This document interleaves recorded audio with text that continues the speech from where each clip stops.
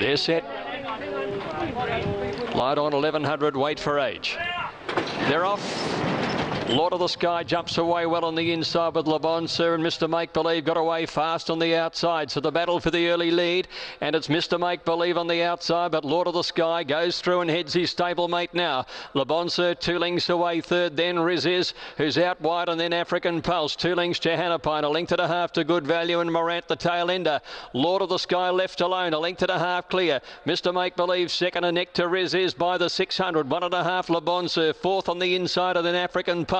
They're three Johanna Pine, Good Value and Morant. So Lord of the Sky, the favourite at the 400, comes around the turn by almost a length. Mr. Make Believe and Riziz poised, running on around the outside African Pulse and then Le Bon Sir into the straight now. Lord of the Sky being held together for the moment. Riziz running on. Mr. Make Believe is still there and then Le Bon Sir. 200 to go. Lord of the Sky. He's lengthened the break. He's two in front now to Le Bon Sir running on and then Mr. Make Believe and Riziz. But Lord of the Sky, he is the real deal. He's three clear and he goes away for Dwayne Dunn. Lord of the Sky won it by four in the post Le Bon Sir. Riziz third. Mr. Make Believe ran fourth. African Pulse struggled home, followed by Morant at the end Good Value and Johanna Johannapine.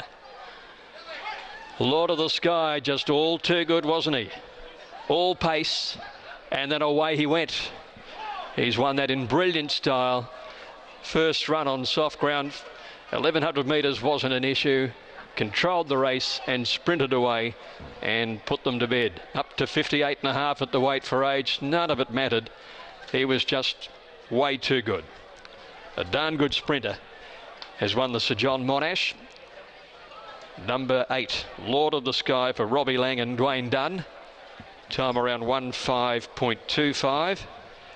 And he's won it in uh, quite comfortable style. Second placing goes to four Le Bon Sir. Third in. He's a very versatile trainer, Robbie Laing. He's got stayers, he's got jumpers, he's got sprinters, he's got two-year-olds that can get up and run.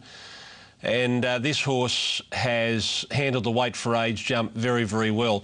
Now, they're no stars, but Le Bon Sir, when he got out and started chasing, you thought he might have been able to take some ground off Lord of the Sky, but he just did it so easily. And he's got so much more to learn. He's lightly raced. That's only his eighth start, for goodness sakes. He's going to make a nice racehorse. Haven't the uh, Dunn family been in the news in the last half hour? Dylan Dunny's uh, son had a, a crash through the mounting yard running rail and has been wheeled away. He's quite okay. And his father, Dwayne, comes out and wins the Monash today on Lord of the Sky. 260, 120, Le Bon Sir 170, Riziz 160, and they were no match whatsoever.